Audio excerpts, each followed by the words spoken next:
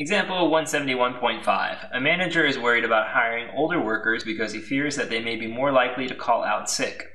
He decides to look at the attendance records for a sample of employees from the previous year. The data is given below. Find a 95% confidence interval for the average number of sick days used by a 53 year old employee. Okay, so the problem clearly states that we want to find a confidence interval, right? And it's talking about the confidence interval for the average number of sick days used by 53 year old employees. What we want to do in this problem then is to begin to follow the steps of a confidence interval. Now, normally step one is our data step. Here, based on the structure of the interval that's required for this problem, what I would like you to do is I would like you to first come up with the linear regression model. So we're going to need that model. Now they gave us beta uh, naught hat and beta 1 hat. In other words, we have the pieces that fill in the model. So remember, y hat is equal to beta naught hat plus beta 1 hat times x. So when we plug that in for our particular scenario, the beta hat naught or the beta naught hat is 21.14 plus the, the slope estimator, which is negative 0.33 times the x value.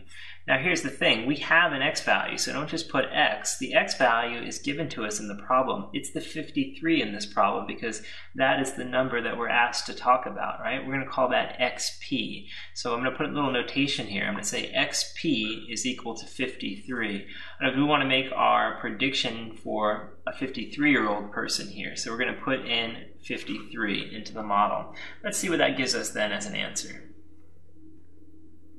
Okay, so we'll have 21.14 minus 0.33 times 53. And we get 3.65. So 3.65 is the value that we come up with in step one.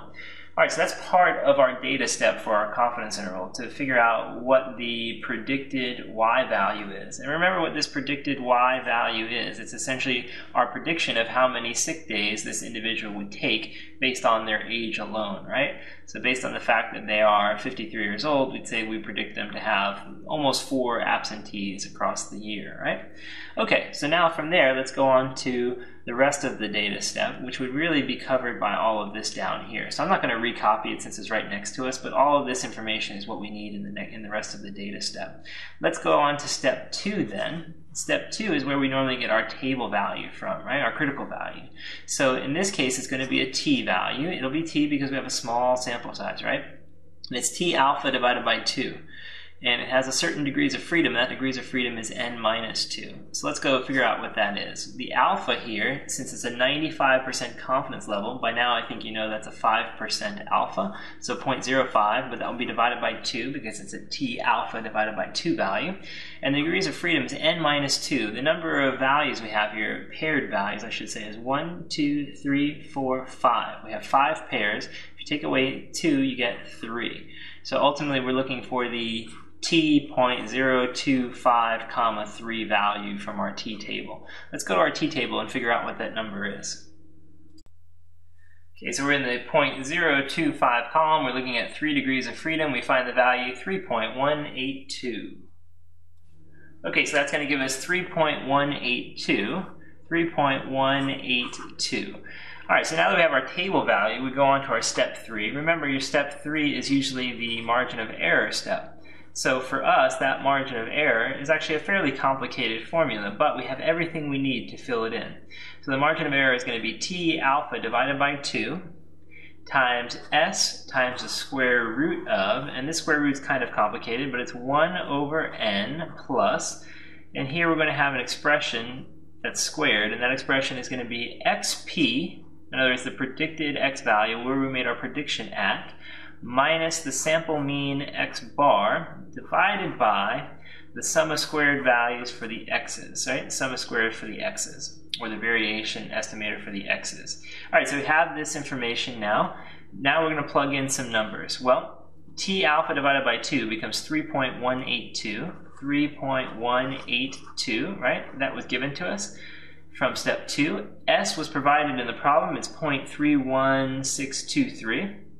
So 0.31623. Then we're going to multiply by the square root here. Square root of 1 over n. Now we said before our n was 5 because there was 1, 2, 3, 4, 5 data values. So that's 1 over 5 plus xp, that's the number we're making the prediction at. That's 53 minus x bar. They tell us x bar is 38. Close that up, hit the square there, and then divide by, and then ultimately here, the SSXX, which is 1,000. That's given to us as well. Okay, so it's very nice of them to give us all that information. It makes our life a lot easier. Let's work out this margin of error and see what we get finally. Okay, so the margin of error will be 3.182 times 0.31623 times the square root of, that's one fifth, that's 0.2, or you can do 1 divided by 5 in your calculator. It's fine either way. Plus, now put the parenthesis you see here. So I'm going to put the parenthesis and then 53 minus 38. I will close that parenthesis up and hit the square, and the exponent, and then I will divide by 1,000. Finally, I will close up that square root. This is why you need a calculator. It allows you to see what you're working out. This is a lot to put in a calculator at once.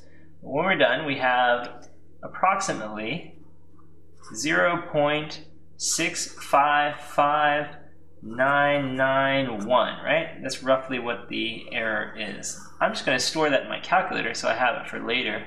I'll store it in as x and we'll use it in the next step. Now, our next step is normally, you know, in most problems to do like the point estimator minus the error, and then point estimator plus the error. Well, our point estimator is what we found in step one. In other words, this quantity here, that quantity of y hat, right? We're going to use that in step four. So our step four, our final step basically, is going to be y hat minus the error, comma y hat plus the error. So once we plug those numbers in, we have our solution. So y hat is 3.65. It'll be minus, uh, 0.656, let's say, just for round numbers. And then we'll do the same thing, but this time add. So plus 0.656. Got to squeeze that in here. Sorry about that. We'll work it out though, and you can see the final answer here below. When we finish the calculation, we end up with the following. So we're going to have 3.65 minus the error that we found. That'll give you roughly 2.99. And then we'll continue, but we'll add this time that same error in and we get 4.31. 4.31. All right, so what do we say about this interval, right? Well, this is a confidence interval, right? For the average number of days. So we're going to say we are 95% confident we are 95% confident the average number of sick days, right? The average number of sick days will be between